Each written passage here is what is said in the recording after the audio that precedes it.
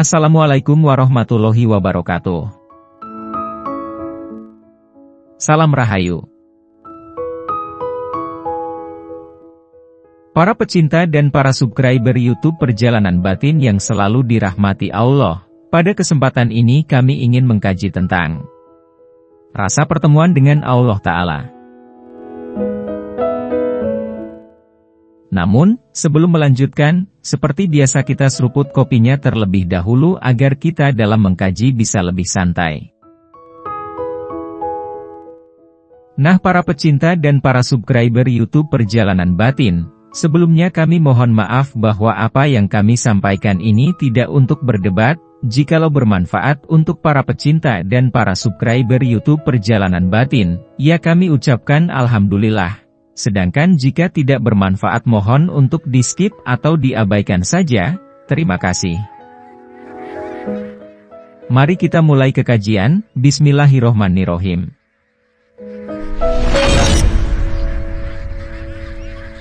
Bismillahirrahmanirrahim.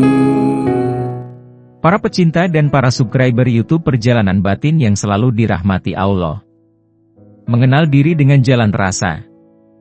Yaitu penyaksian kepada yang rahasia melalui rasa melihat. Para pecinta dan para subscriber YouTube Perjalanan Batin, ingatkah akan hadis kudsi yang berbunyi? Al-insanu siri wa anasiruhu yang artinya adalah insan itu rahasiaku dan akulah rahasianya insan.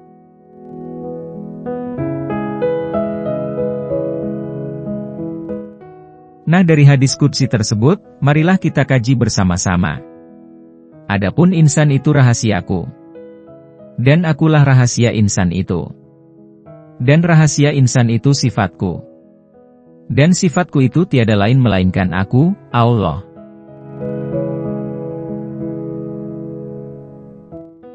Jadi kesimpulannya dari hadis kudsi tersebut adalah, Insan adalah rahasiaku. Dan aku adalah rahasia insan. Dan rahasia insan adalah sifatku. Dan sifatku adalah aku, Allah. Jadi secara hakikatnya bahwa insan adalah aku, Allah.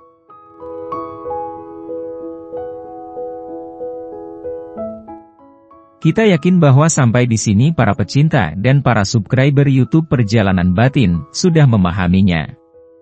Bagi yang belum jelas, Silahkan disimak kembali video-video kami sebelumnya, karena kajian-kajian ini saling bersangkutan. Nah, mari kita lanjutkan ke kajian, para pecinta dan para subscriber YouTube Perjalanan Batin.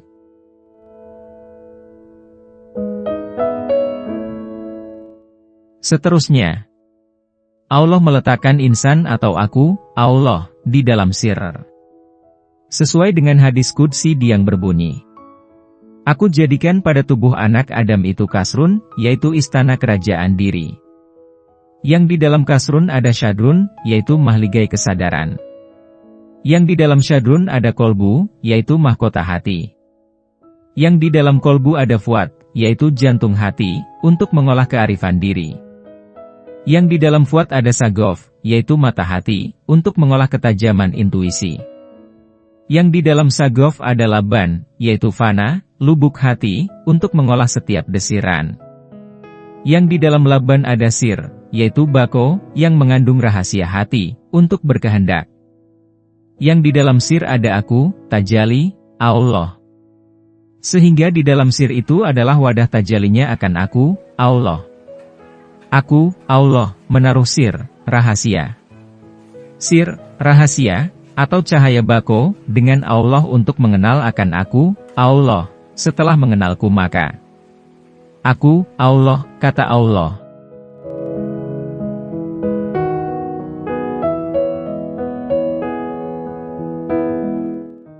Para pecinta dan para subscriber YouTube Perjalanan Batin yang selalu dirahmati Allah. Jadi sebagai gambarannya begini. Kolbu, mengetahui sifat-sifat Allah, roh, mencintai Allah, dan sir, melihat Allah. Sir yang melihat Allah lebih halus dari roh yang mencintai Allah. Roh yang mencintai Allah lebih halus dari kolbu yang mengetahui sifat-sifat Allah. Sir yang melihat Allah bertempat di roh yang mencintai Allah. Roh yang mencintai Allah bertempat di kolbu yang mengetahui sifat, sifat Allah. Para pecinta dan para subscriber YouTube Perjalanan Batin. Perlu diketahui bahwa, pertemuan insan dengan Allah, bukanlah pertemuan dua wujud yang saling berhadap-hadapan. Tetapi, pertemuan wujud yang terbatas dengan pertemuan wujud yang tidak terbatas. Yaitu pertemuan zat yang dicipta, sebagai makhluk, dengan zat yang mencipta, sebagai holik.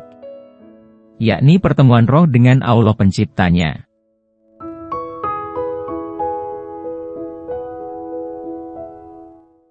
Para pecinta dan para subscriber YouTube Perjalanan Batin, hal ini benar-benar perlu dipahami dengan seksama bahwa pertemuan dengan Allah itu dapat satu Dirasai atau dirasakan, atau istilahnya adalah dzau. Dua Dialami, atau istilahnya adalah syuwur.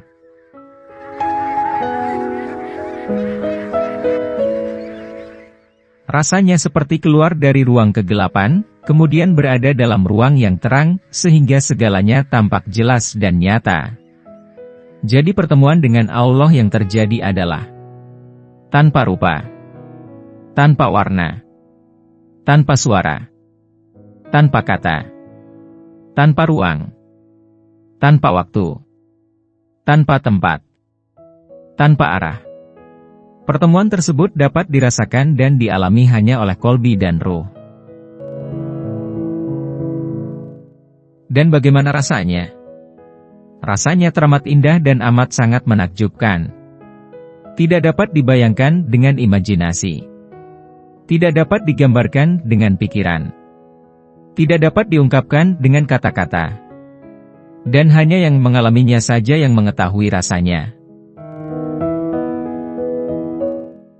Para pecinta dan para subscriber YouTube Perjalanan Batin yang selalu dirahmati Allah. Pertemuan dengan Allah terjadi ketika insan memperoleh kembali asal dirinya dengan kudrat Allah yang tidak terbatas, yang terputus akibat ketidaktahuan, kelupaan dan kelalaian terhadap Allah. Pertemuan dengan Allah terjadi ketika kita merasakan mengalami wujud Allah melalui wujud perbuatannya, wujud sifatnya dan wujud zatnya. Pertemuan dengan Allah terjadi ketika merasa diberitahu, dibimbing, digerakkan, ditolong dan dilindungi Allah. Pertemuan dengan Allah terjadi kepada siapa saja yang dikehendaki Allah. Pertemuan dengan Allah ialah puncak tertinggi pencapaian matlamat hidup manusia di dunia ini.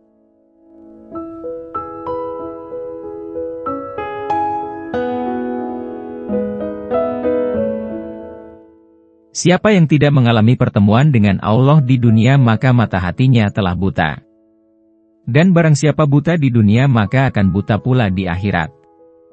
Bahkan jauh lebih tersesat. Sesuai dengan firman Allah. Barang siapa yang hidupnya sekarang ini, di dunia, buta. Mata hatinya tidak mengetahui keberadaan diri Tuhannya yang dekat sekali dan wajib wujud Allah maka kelak di akhirat juga akan lebih buta dan sesat jalannya.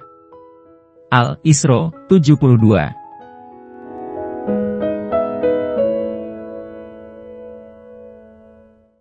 Ungkapan tasawuf yang sudah pasti para pecinta dan para subscriber perjalanan batin sering mendengarnya adalah La maujuda illallah. Lenyaplah aku dalam wujud Allah. La ilaha illallah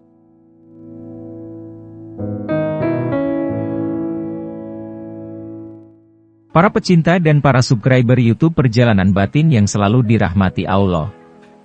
Jadi hakikatnya pertemuan dengan Allah ialah 1. Penyaksian mata hati 2. Kesadaran roh yang mengalami rasa melihat, penyaksian di mana Allah akan membersihkan kolbu hambanya dengan kurnia kemampuan syuhud, atau penyaksian.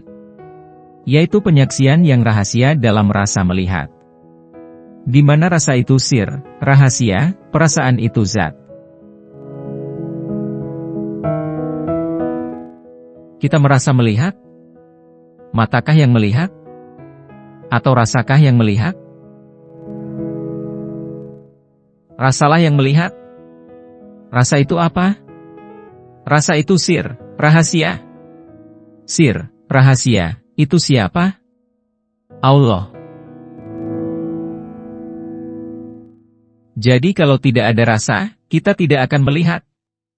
Para pecinta dan para subscriber YouTube Perjalanan Batin yang selalu dirahmati Allah.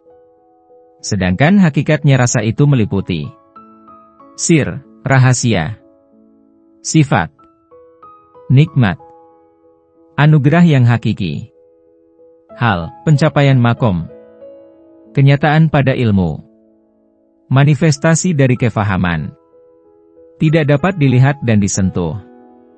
Perjalanan tiada berkesudahan, tidak tertakluk oleh ruang, masa, tempat. Berubah-ubah mengikuti persinggahan yang ditemui. Penuh dengan warna, warni diliputi keindahannya. Tidak terbatas, berbanding akal pikiran yang terbatas. Kebenaran karena diri sendiri yang mengalami. Berbeda mengikut peringkat yang mengalami rasa itu. Pengalaman untuk mereka yang menikmati dan mengalami. Bukannya taklid atau andaian memiliki pelbagai bentuk dan keadaan. Pelbagai peringkat sesuai dengan tahap adirasanya. Dimiliki oleh jiwa yang luhur dan murni. Dari Allah yang memiliki segala rahasia rasa. Datang menyahut panggilan yang Maha Esa. Terbit dari hati nurani yang telah kembali kepada yang hak. Rasa itu milik pencinta ketuhanan yang hakiki.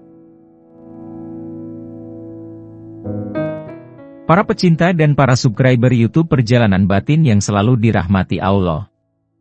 Rasa itu, satu perjalanan yang merentasi dunia dan akhirat. Sebagaimana di alam roh itu kita kenal, merasa dan menyaksikan Allah. Begitu juga di dunia bagi yang telah kembali.